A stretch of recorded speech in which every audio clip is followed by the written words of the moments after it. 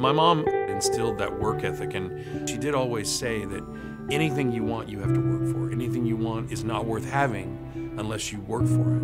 And that's certainly proven to be true in every aspect of my life.